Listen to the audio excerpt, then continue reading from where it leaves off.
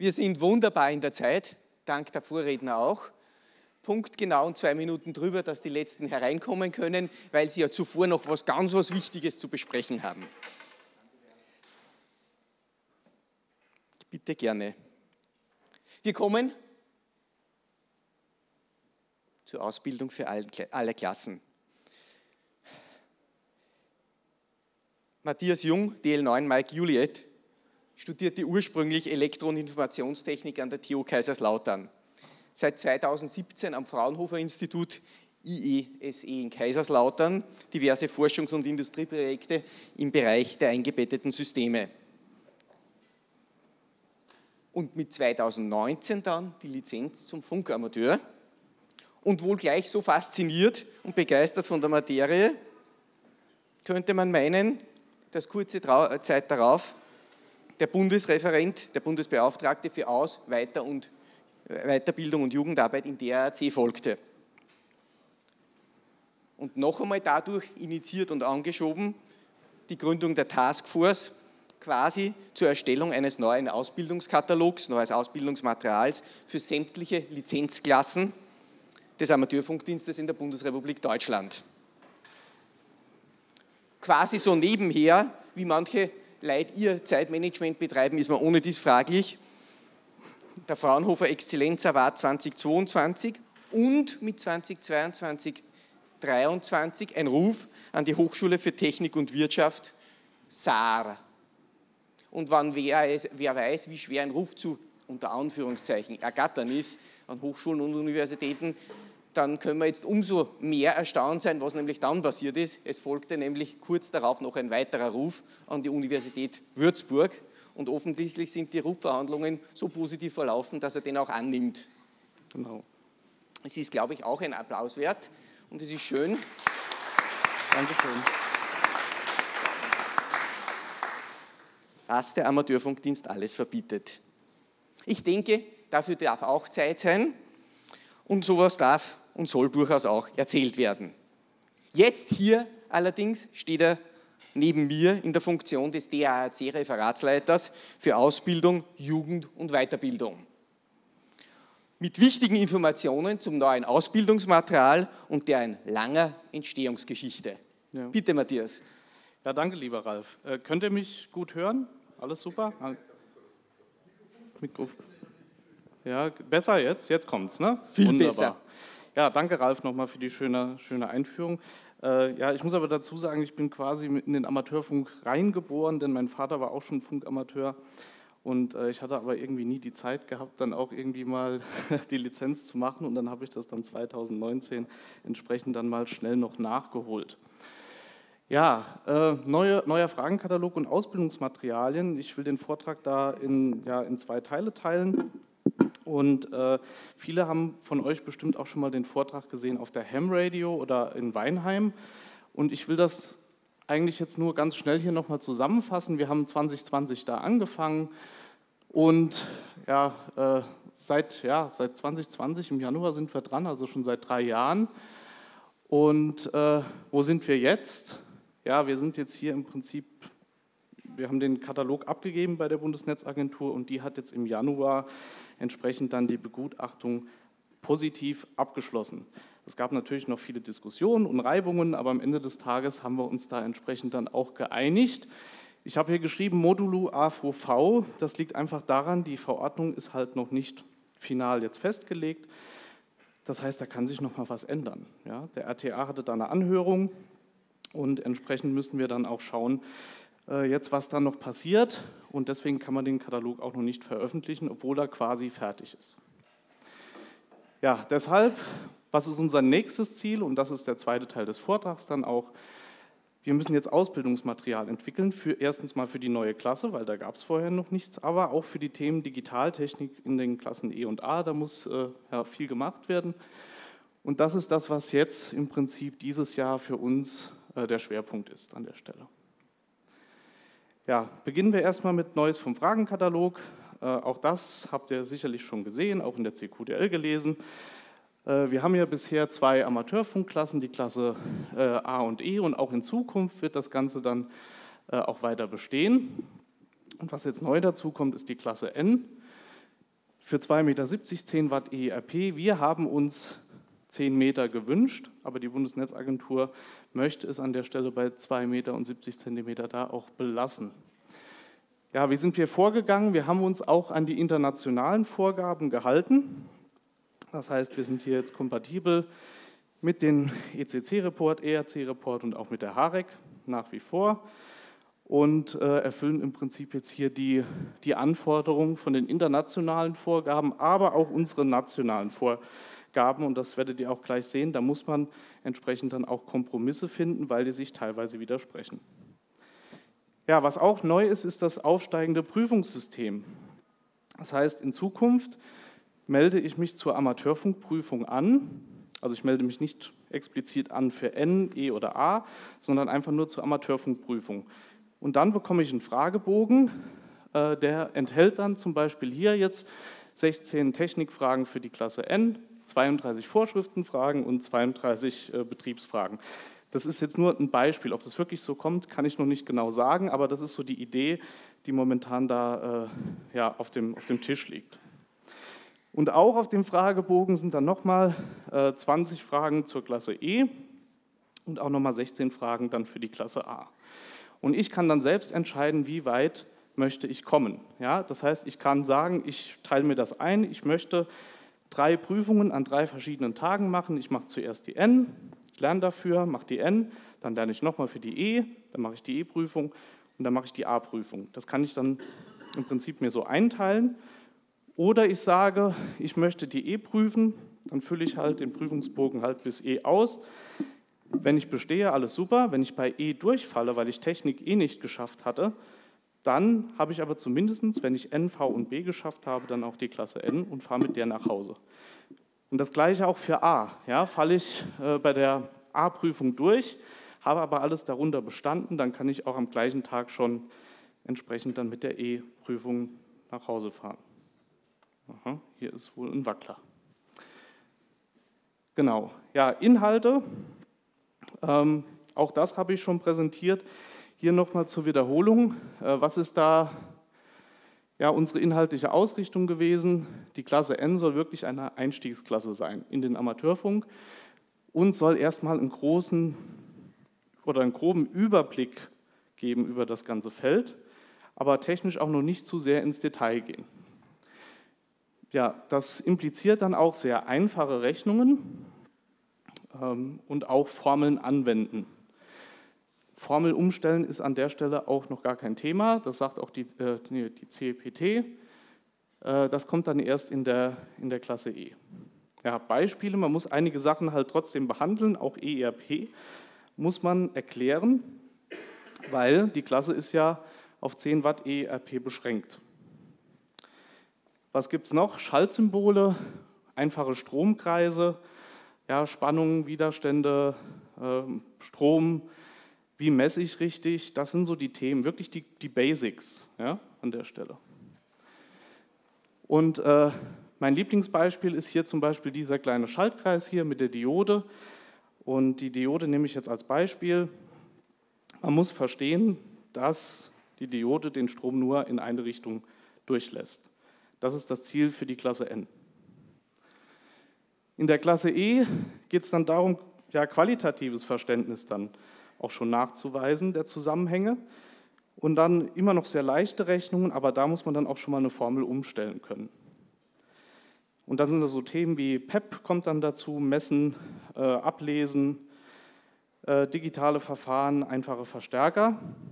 Und jetzt so vom Niveau her muss man dann verstehen bei der Diode, dass eine Diode halt auch eine Kennlinie hat. Ja? Das ist im Prinzip dann das Niveau der Klasse E. Und in der Klasse A, da geht es dann darum, tiefgehendes Verständnis dann nachzuweisen. Aber, und das war auch der Bundesnetzagentur immer sehr wichtig, es soll kein Ingenieursstudium sein. Ja? Dort gibt es natürlich dann kompliziertere Rechnungen und auch das Kombinieren von mehreren Formeln, was dann entsprechend dann erforderlich ist. Und dann kommen dann natürlich so Themen, bisschen wie Halbleiterphysik, Power Amplifier und auch in der digitalen Signalverarbeitung geht es auch ein bisschen tiefer rein. Und wenn wir wieder auf die Diode gucken, sehen wir, wir müssen jetzt hier quasi verstehen, wie so ein PN-Übergang funktioniert, grob. Ja? Daran kann man sich das so klar machen, wie so diese Schwierigkeiten dann sind. Ja, ähm, und ich möchte jetzt noch mal ein bisschen zeigen, auch was die Vorgaben der Bundesnetzagentur waren, weil da gab es in der Vergangenheit, ja, glaube ich, ein paar Missverständnisse auch. Ich habe auch viele Zuschriften er, erhalten und musste es dann erklären. Erstmal vorneweg, die Bundesnetzagentur hat hier den Hut auf. Ja, die hat den, die alleinige Hoheit über den Umfang und die Inhalte des Fragenkatalogs. Wir können Vorschläge machen, aber am Ende des Tages müssen die das entsprechend dann auch veröffentlichen. Erste Anforderung war für die neue Einstiegsklasse, das Selbstbaurecht soll nicht eingeschränkt werden. Ähm, die CEPT sieht sowas vor für eine Einstiegsklasse, aber die Bundesnetzagentur möchte das nicht. Das impliziert aber auch, dass wir gewisse Anforderungen an die Technik dann auch haben müssen. Ja, ja 10 Watt ERP, der Grund, Selbsterklärung ist erst ab 10 Watt ERP erforderlich. Ähm, auch das wollte man entsprechend nicht ändern.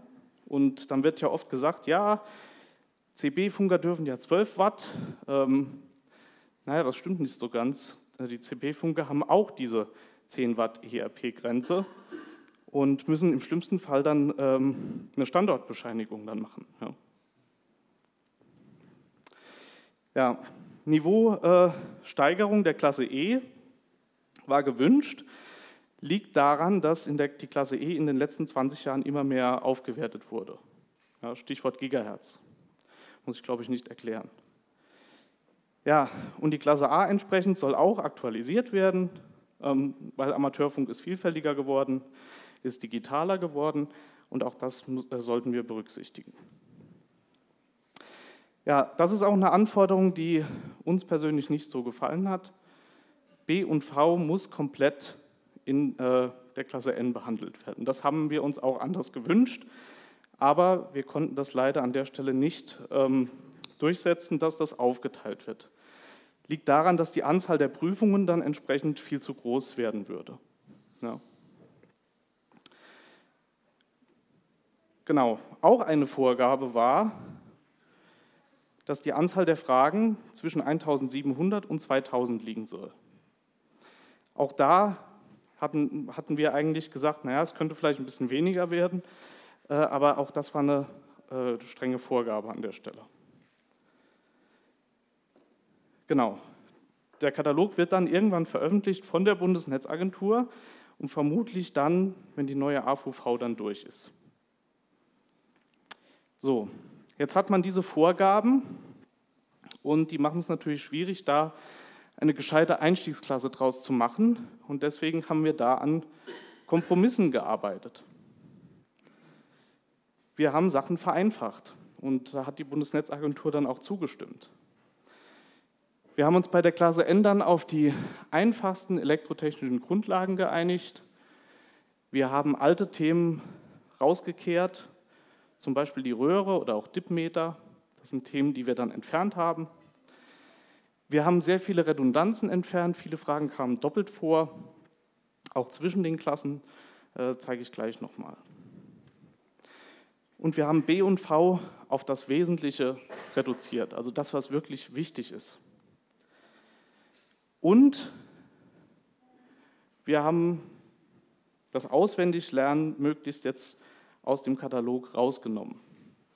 Was meine ich damit? Ähm, ich habe das für meinen Amateurfunkkurs, den ich halte in Kaiserslautern, habe ich mal den Prüfungsbandplan erstellt. Das ist der oder das ist alles, was ich lernen muss für äh, B und V in Bezug auf Bandplan. Ja? Ähm, das reicht. Es macht keinen Sinn, irgendwie alle Bandpläne dann auswendig zu lernen, sondern man hat dann meinen äh, sage ich jetzt mal, Aspiranten gesagt, lernt einfach das auswendig, was da steht und dann kommt er da durch. Und das ist aber wirklich nicht besonders befriedigend, das muss man alles irgendwie da im Kopf haben. Und wenn ich jetzt hier rumfrage, könnte mir wahrscheinlich keiner so aus dem Stegreif äh, zum Beispiel hier 2,2 Kilometer sagen. Ja? Nun gut, das fällt weg in Zukunft. Keine auswendig lernen mehr dieser Zahlen, das macht keinen Sinn. Was wir abprüfen wollen, ist die Kompetenz, einen Bandplan zu lesen. Ja? Das heißt, in Zukunft gibt es erlaubte Hilfsmittel, nämlich den IARO-Bandplan für 2,70 Meter bei der Prüfung mit dazu. Und alle Fragen sind so umgebaut, dass man im Prinzip, es ist auch manchmal ein bisschen knifflig, da muss man auch vielleicht mal in eine Fußnote reingucken, aber im Prinzip ist die Kompetenz dann, dass man die Frage vor sich hat, im Bandplan oder erstmal die richtige Quelle dann sucht, Bandplan und sich dort dann drin orientieren kann. Das gleiche für die Anlage 1, weil da sind ja die Leistungsbestimmungen auch geregelt für Deutschland. Und den Rufzeichenplan gibt es auch noch als Hilfsmittel. Und natürlich die Formelsammlung, die gab es auch vorher schon. Und da die Klasse N ja keine Formeln umstellen können muss laut CEPT, gibt es auch gerade noch alle Umstellungen von den Formeln schon äh, gratis freie Haus mit dazu. Ja, also da haben wir auch äh, gewisse Vereinfachungen drin und dieser Berg von B und V ist dann entsprechend auch gar nicht mehr so schlimm. Ja, ähm, wir haben dann versucht, nah an, dieses, an diese untere Grenze zu kommen und haben dann ja 1750 Fragen abgegeben. Da wurden natürlich auch wieder viele dann entfernt und wieder neue hinzugefügt, aber am Ende des Tages sind es tatsächlich dann auch äh, ja, 1750 Fragen geblieben. Ja, mein persönliches Fazit ist, die Prüfung ist insgesamt auch für E und A nicht schwerer geworden, äh, es sind halt auch einfach andere Themen.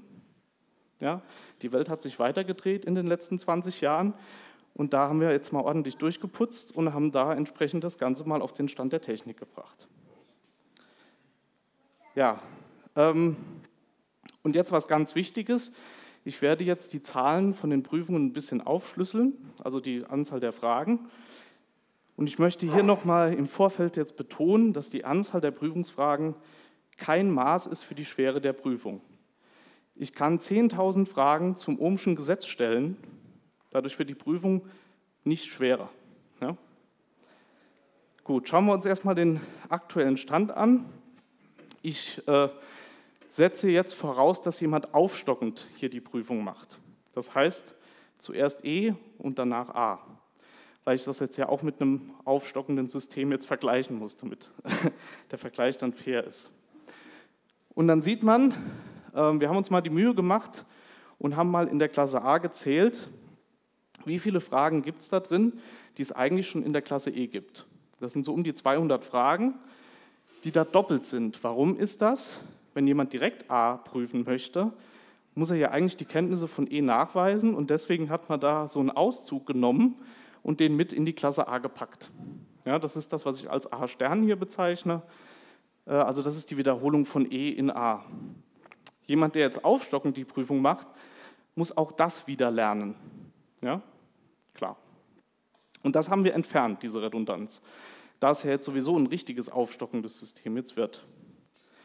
Wie sieht das jetzt aus? Ja, schauen wir mal erstmal jetzt auf ähm, den Vergleich zwischen der alten Einstiegsklasse E und der neuen der Klasse N. Da muss ich schon, oder müssen wir sagen, da sind schon mal weniger Fragen.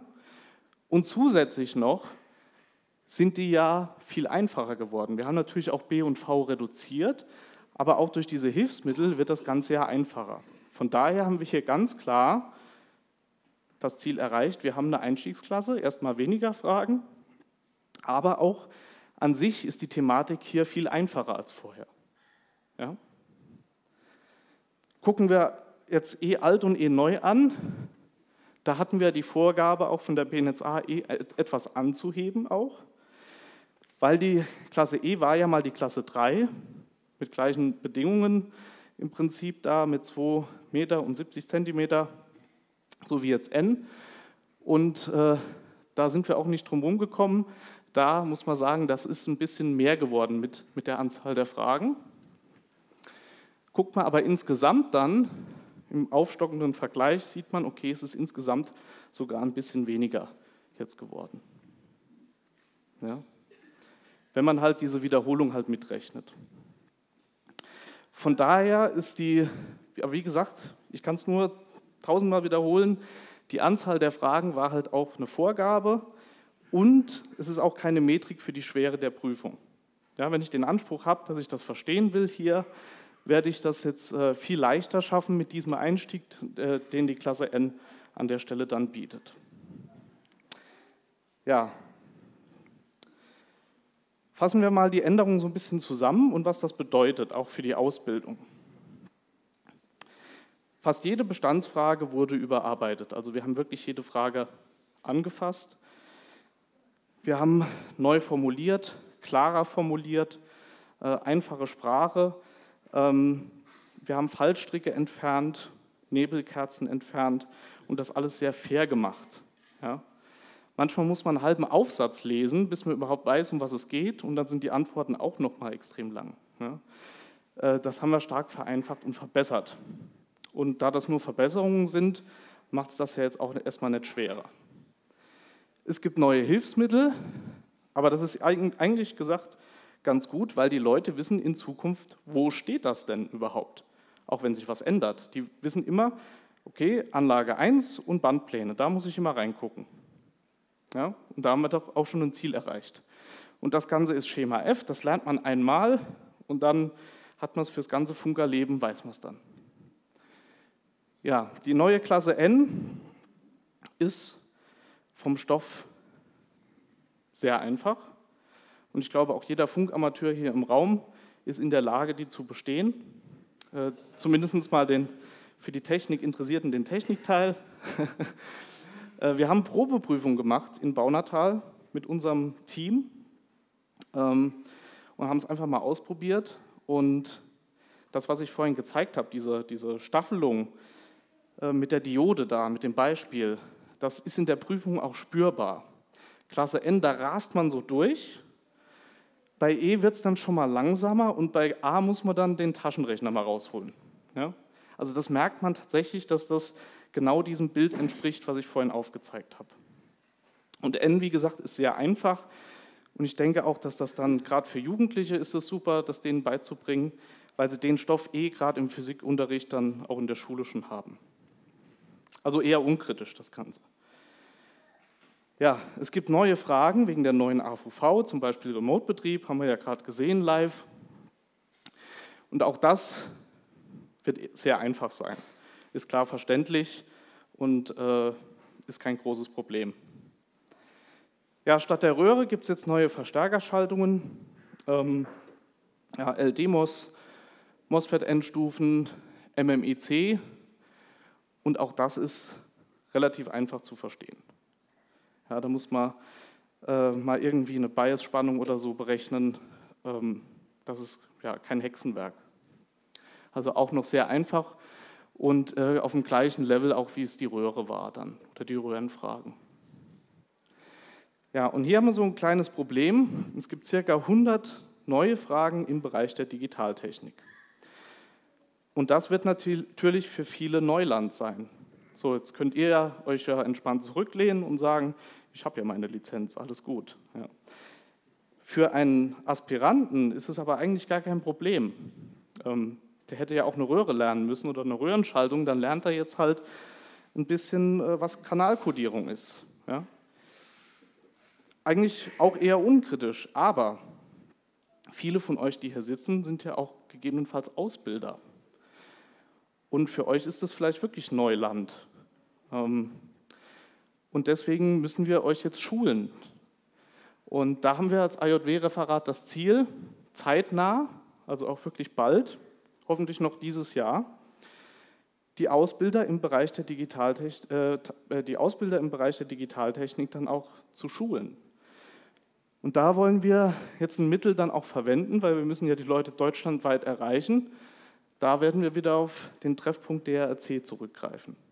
Ja, das heißt, wir werden hier ähm, ja, Schulungen anbieten, Fragestunden und wir werden auch das Ausbildungsmaterial euch dann rechtzeitig zur Verfügung stellen, auch dass ihr euch selbst weiterbilden könnt und dann auch entsprechend dann in den Fragestunden auch dazu eure Fragen stellen könnt.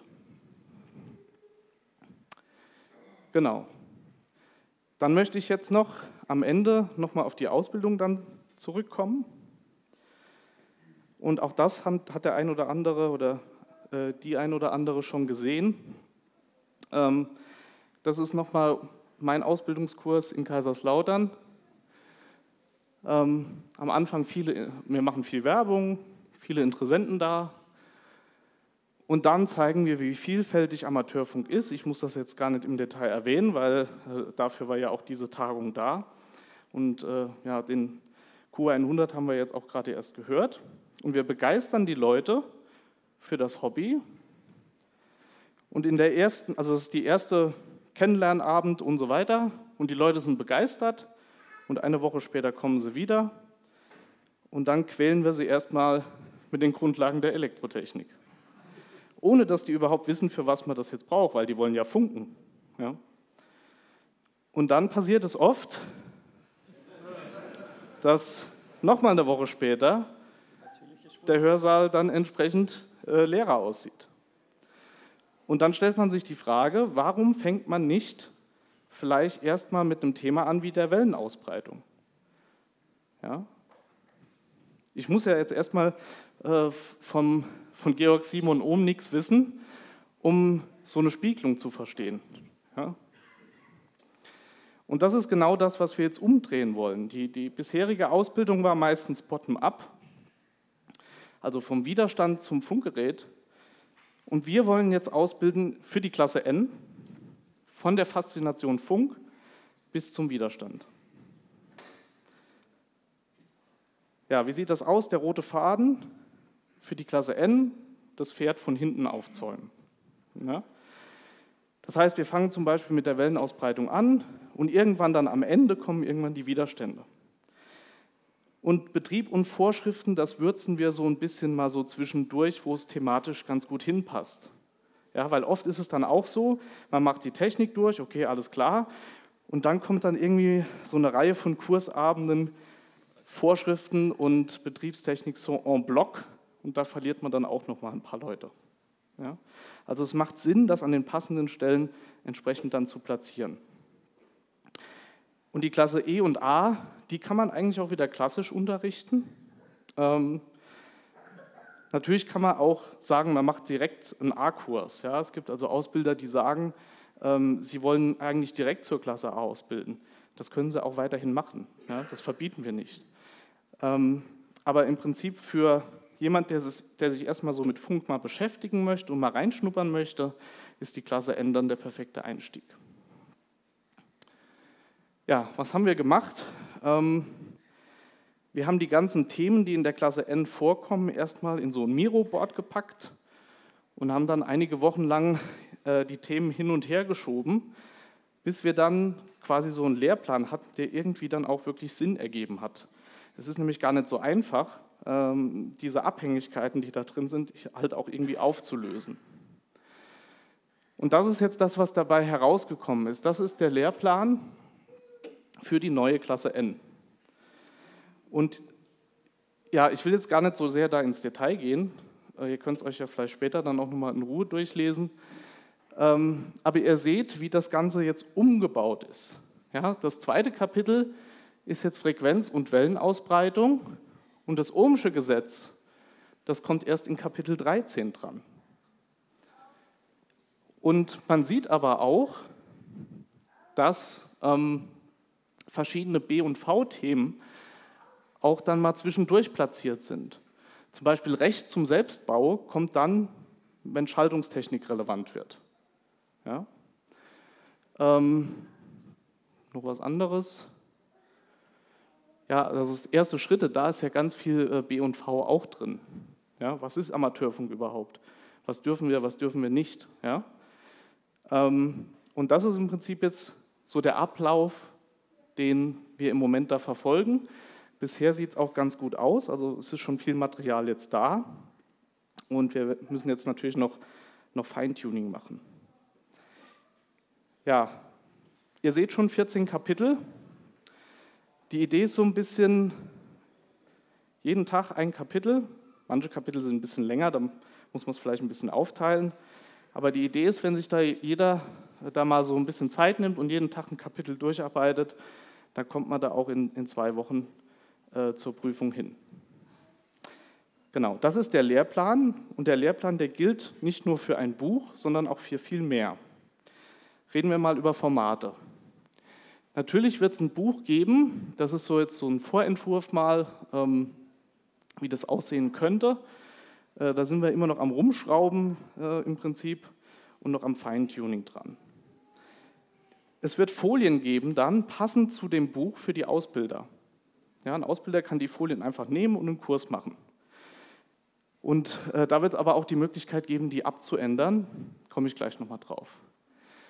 Es wird eine Ausbildungsplattform geben mit einem Online-Kurs und interaktiven Elementen.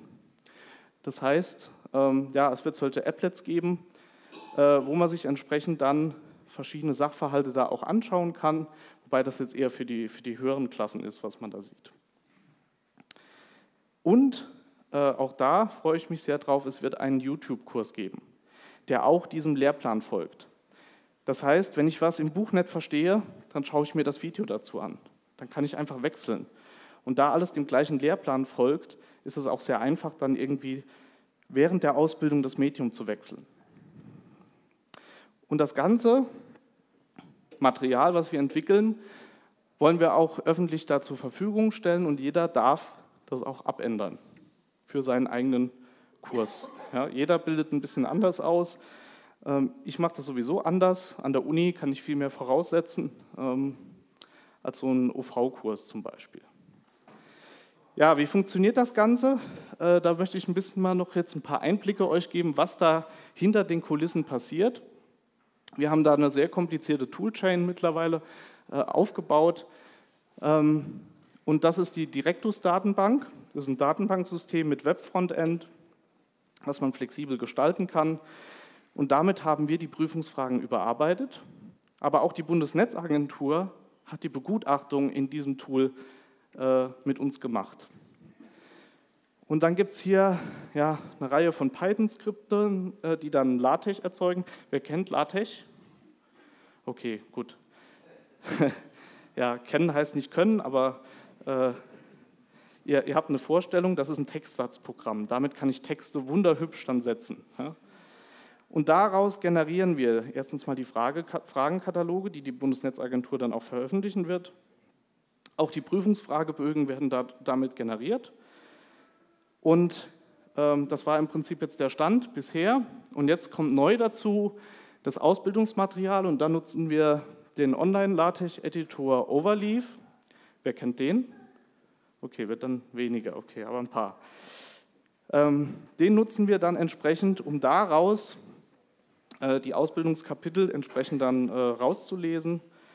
Und dann können wir jetzt auch in Zukunft die Ausbildungsunterlagen dann aus dieser zentralen Datenbank dann entsprechend generieren.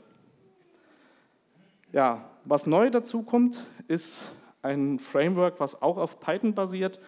Das nennt sich Manim. Ähm, wer kennt den YouTube-Kanal 3 Blue, 1 Brown? Eins, zwei, drei, vier, fünf. Ja. Kann ich nur empfehlen. Ähm, der, der den Kanal betreibt, hat dieses Framework auch entwickelt. Und damit kann ich Lehrvideos erzeugen und Erklärvideos erzeugen. Und auch da nehmen wir wieder die Grafiken, die wir auch natürlich für den Katalog schon erstellt haben. Und da sind wir beim Thema Grafiken. Da benutzen wir die LaTeX-Bibliothek CircuitX.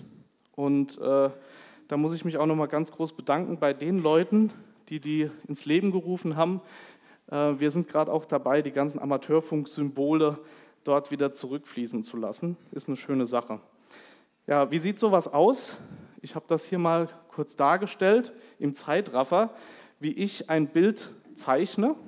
Ja, also der OM Moltrecht hatte das früher mit Tusche gemacht, alles. Ja.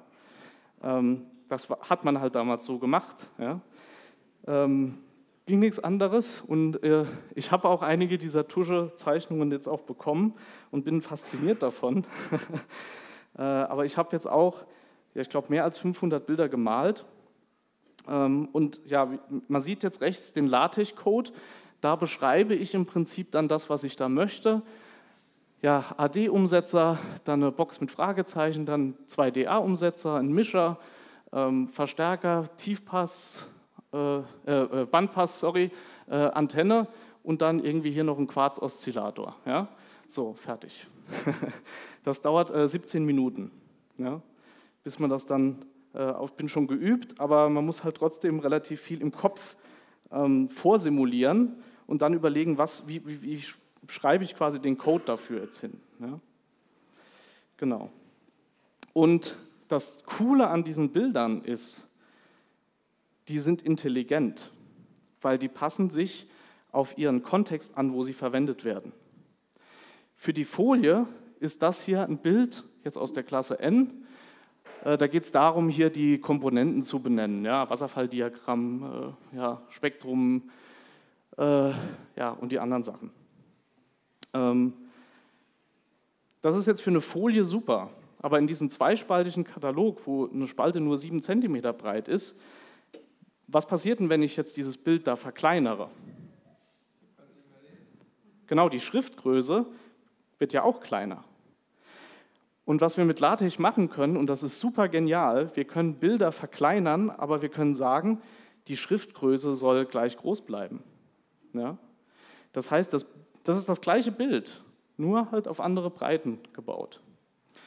Und das ist hier an, äh, an der Stelle der Schlüssel auch, dass wir diese Grafiken dann auch im Katalog als auch im Ausbildungsmaterial, auch in verschiedenen Medien, also hier ist jetzt die Idee, dass man es auf dem Smartphone sieht. Ja? Äh, dass die da, egal was ich jetzt habe, Smartphone, Buch ähm, oder online auf einer Webseite, dass es immer gut aussieht. Ja, ähm, Richtung YouTube, da möchte ich einen kurzen Einblick geben, wie das aussieht. Wir nutzen da die gleichen Bilder wieder.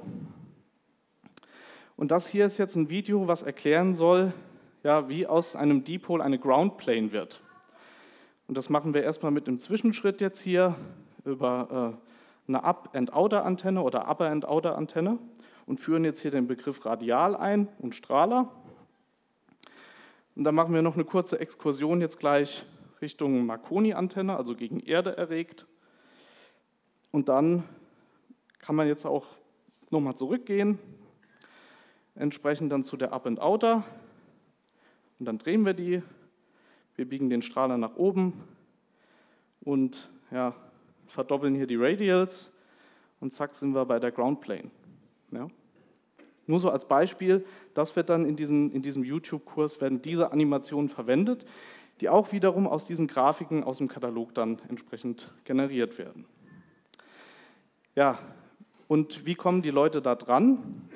Das habe ich schon erwähnt. Es wird eine Ausbildungsplattform geben. Auch hier eine kurze Vorschau.